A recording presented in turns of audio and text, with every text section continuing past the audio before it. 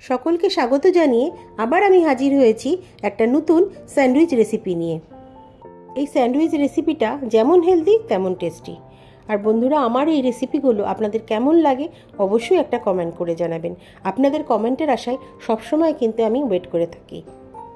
এই স্যান্ডউইচগুলো আমি তৈরি করেছি স্যান্ডউইচ মেকারে। আর আমি নিয়ে নিয়েছি কলা, পনির, চিজ আর ব্রেড। প্রথমে আমি ব্রেডের চারিধারটা কেটে বাদ দিয়ে দেবো। ব্রেকফাস্টে আমরা স্যান্ডউইচ কিন্তু অনেকেই পছন্দ করে থাকি। আর বাচ্চাদের স্কুলের টিফিনের জন্যে এটা কিন্তু একটা আদর্শ স্যান্ডউইচ হতে পারে। কেননা এর মধ্যে যা যা থাকবে প্রত্যেকটাই কিন্তু হেলদি। প্রথমে আমি কলাগুলোকে পাতলা করে টুকরো করে নিয়েছি, তারপর পনিরকেও পাতলা পাতলা লম্বা আকারে করে নিচ্ছি। এরপর আমি একটা ফ্রাইং প্যানের মধ্যে বাটার দিয়ে এই পনিরগুলোকে একটু ভেজে নেব। এই পনিরগুলোকে ভেজে নেওয়ার দরুন এই স্যান্ডউইচের টেস্টটা অনেকটাই বেড়ে গেছে। আর স্যান্ডউইচ আমরা অনেকভাবেই কিন্তু করে থাকি, কিন্তু এই ধরনের স্যান্ডউইচ সাধারণত কিন্তু করা হয় না আমাদের। পনিরগুলো আমার ভাজা হয়ে গেছে, এরপর আমি তুলে রাখব। এরপর আমি ব্রেডের উপরে বাটার সুন্দরভাবে লাগিয়ে নিচ্ছি। বাটারটা আপনারা যদি মনে করেন যে লাগাবেন না, তাহলেও হবে।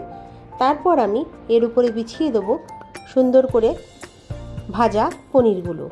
তারপর আমি দিয়ে দেবো স্লাইস করে রাখা যে কলাগুলো কেটেছিলাম, সেই কলাগুলোকে সুন্দর করে সাজিয়ে দেবো। এ তার উপরে দেব চিজ গ্রেট করে। যদি আমার এই রেসিপিটা আপনাদের ভালো লাগে, তাহলে কিন্তু অবশ্যই চ্যানেলটিকে সাবস্ক্রাইব করবেন আর সাথে একটা কমেন্ট করে জানাবেন।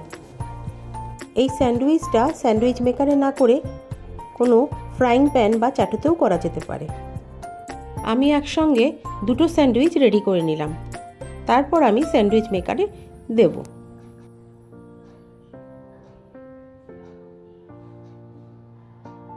এরপরে দুটো ব্রেড বাটার লাগিয়ে তার উপরে আমি দিয়ে দিচ্ছি।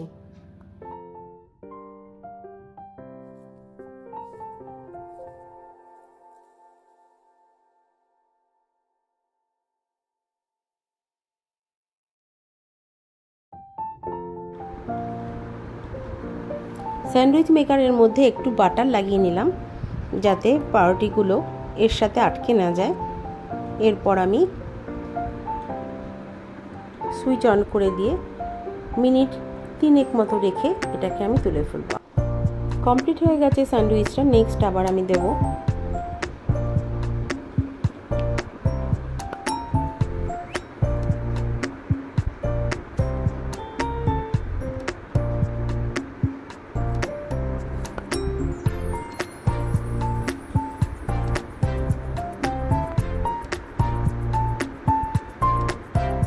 বন্ধুরা, আবার আমি হাজির হব নতুন কোনো রেসিপি নিয়ে আপনাদের সামনে। আজকে তাহলে এখানে রাখছি।